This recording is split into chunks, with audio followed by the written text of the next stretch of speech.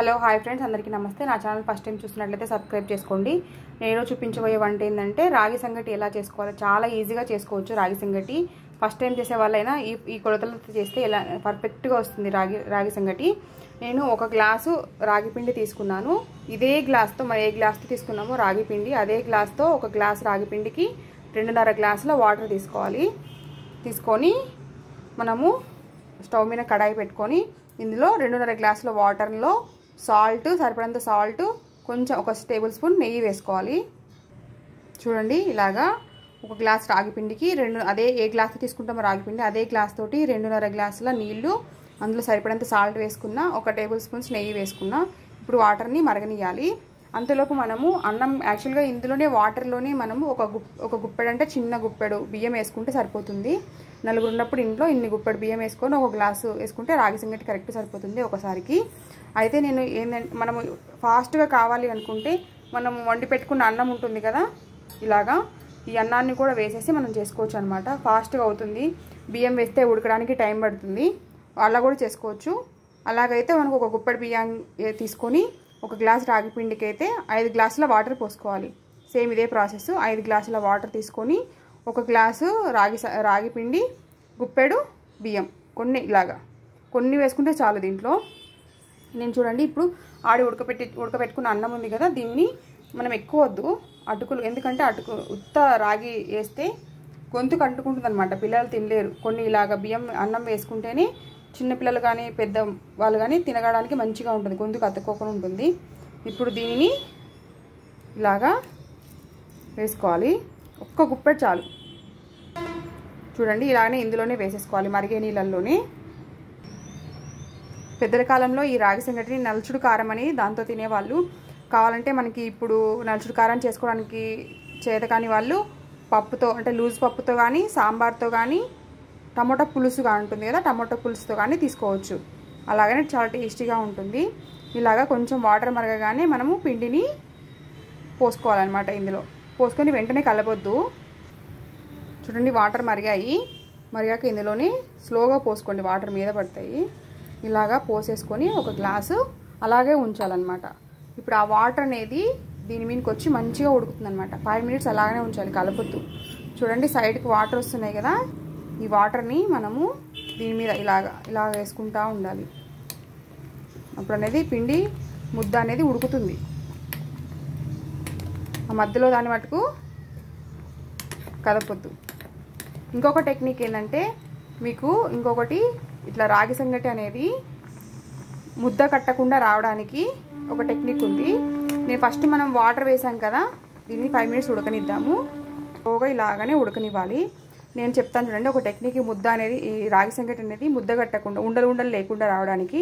నేను ఫస్టే ఆ నీళ్ళు రెండున్నర గ్లాసు వాటరు కొంచెం అన్నము ఉప్పు నెయ్యి వేసాను కదా అప్పుడే మీరు ఏం చేయాలంటే ఉండగట్టకుండా ఉండడానికి ఒక టేబుల్ స్పూను రాగి పిండిలో ఒక హాఫ్ గ్లాస్ వాటర్ మనం కార్న్ఫ్లోర్ కలుపుకుంటాం కదా అలాగా రాగి పిండిలో కొంచెం హాఫ్ గ్లాస్ వాటర్ కలుపుకొని ఈ పిండి వేయకముందే ఆ పిండిని వేసేసి ఒకసారి కలుపుకుంటే కలుస్తుంది కదా తర్వాత ఈ పిండిని వేసినాం అనుకోండి ఉండలు కట్టకుండా ఉంటుంది అనమాట ఇదొక టెక్నిక్ యూజ్ చేయొచ్చు ఉండగట్టకుండా ఉండడానికి. దీనిని మనము ఇలాగ వాటర్ని ఇలాగ ఆ ఉండ ఉంటుంది మనం వేసిన పిండి మీదకి ఇలాగా తీసుకొని రావాలి. ఇలాగ చేసినా కానీ ఏం రా ఉండలు కట్టకుండానే వస్తుంది. చూడండి. దీనిని మనం ఫోర్ టు ఫైవ్ మినిట్స్ ఉడకనియాలి సిమ్లో పెట్టండి మంట. చూడండి ఫైవ్ మినిట్స్ తర్వాత మంచిగా ఉడికింది. చూడండి కలర్ అనేది ఇలాగా పొంగులాగా రావాలి ఎర్రగా. పొంగు వచ్చినాక చుట్టూ పొంగు వస్తుంది కదా ఆ పొంగు రావాలి. పొంగు వచ్చినాక ఇప్పుడు దీనిని మనము మంట సిమ్లో పెట్టేసి దీన్ని కలుపుకోవాలన్నమాట. ఉండ లేకుండా మనం గట్టతోనే కలుపుకోవచ్చు. ఒకవేళ గరిటతో కలపడానికి రాని వాళ్ళు తెడ్డు అంటారు కదా తెడ్డుతోనే కలుపుకోవచ్చు. ఉండలు లేకుండా ఇలాగా ఇలాగా అనాలి. గిన్నెకి ఒకటే సైడ్ ఇలా అన్నం అనుకోండి అంతా ఉండలు లేకుండా వస్తుంది. తెడ్డుతో కూడా అనుకోవచ్చు. తెడ్డు లేని వాళ్ళు చపాతీ కర్ర ఉంటుంది కదా దాన్ని సైడ్కి ఉంటుంది కదా దాంతో అనుకోవచ్చు. చూడండి ఇలాగ మనం ఉండలు లేకుండా ఇలాగ. స్టవ్ ఆన్లోనే ఉండాలి. చూడండి మంచిగా వాసన వస్తుంది. నెయ్యి వేసాను కదా స్మెల్ వస్తుంది. వేడి వేడిగా నలుచుడు కారం కానీ లేకపోతే సాంబార్ కానీ లూజు పప్పు పులుసులలో తినొచ్చు అనమాట ఇది. చూడండి ఇలాగా. మనం ఇలా అనుకుంటే సరిపోతుంది. తెడ్డు అవన్నీ అవసరం లేదు. ఇప్పుడు అవన్నీ మనం తీసుకురాలేము కదా. ఒకవేళ ఉంటే పర్లేదు. లేకపోతే గంటతోనే ఇట్లా ఇలా వేసుకోండి సింపుల్గా అయిపోతుంది ఇద్దరికి. ఇదైతే ఇద్దరికి మంచిగా సరిపోతుంది. ఇట్లాగా మొత్తం కలిపేసుకోవాలి. ఇలాగా కలుపుకున్నాక కూడా ఒక త్రీ మినిట్స్ అనేది సిమ్లో పెట్టండి. సిమ్లో పెట్టేస్తే సిమ్లో పెట్టేసి మనం మూత పెట్టండి. మొత్తం మిగిలిన ఒక చుక్క వాటర్ ఉంటుంది కదా అది కూడా మొత్తం పీల్చేస్తుంది అనమాట ఇలాగా మూత పెట్టి ఒక త్రీ మినిట్స్ చాలా ఎక్కువ పెట్టకండి లేదా అడుగంటుతుంది. చూడండి ఇలాగా రాగి సంగటి దగ్గర పడాలి. దీన్ని చూడండి దగ్గర పడింది. ఇప్పుడు మనం స్టవ్ ఆపేసేసుకోవాలి. చూడండి ఎంత మంచిగా వచ్చిందో. ఒక్క ఉండ కూడా కట్టలేదు. ఇలా చేసేసుకోవచ్చు. సింపుల్గా వేడి వేడిగా మంచిగా తినొచ్చు. దీన్ని కొంచెం చల్లారినాక మనము ఉండలు అంటే లడ్లు లాగా కట్టుకోవాలి. కట్టుకుంటే లోపల వేడిగా అట్నే ఉంటుంది అనమాట తొందరగా చల్లారకుండా.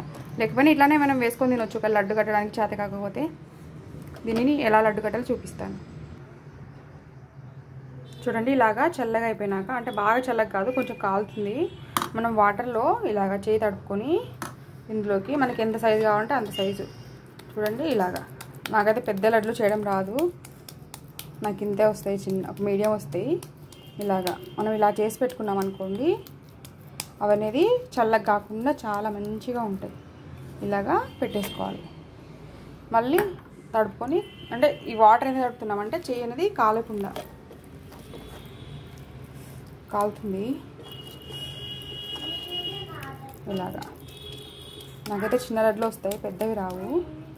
ఇలా చేసి పెట్టుకోవడం వల్ల లోపల అనేది చల్లగా కాకుండా ఉంటుంది. ఒకవేళ కొంతమంది తొందర రా ఎవరైనా తినడానికి రానప్పుడు ఇలా చేసి పెట్టినాం అనుకోండి చల్లగా కాకుండా ఉంటాయి. చూడండి వేడి వేడి రాగి సంగటి రెడీ అయిపోయింది.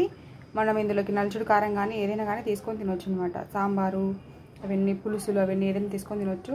నేను ఇది ఒకటి ట్రై చేశాను పెద్ద లడ్డు. నాకు చిన్న చిన్నగా నాకు చిన్న చేతులు కాబట్టి పెద్ద లడ్డు రాదు. మా అమ్మమ్మ అయితే ఇంత పెద్ద పెద్ద చే లడ్డు చేసేది. చూడండి ఎంత మంచిగా వచ్చిందో స్మూత్గా. మనం దీంట్లోకి వేడివేడి నెయ్యి వేసుకొని తినాలి. చాలా బాగుంటుంది. నేను నలుచుడు కారం కూడా ఎలా చేయాలో పెడతాను. చూసి మీరు చేసుకోండి. Thank you bye bye thank you for watching please subscribe my channel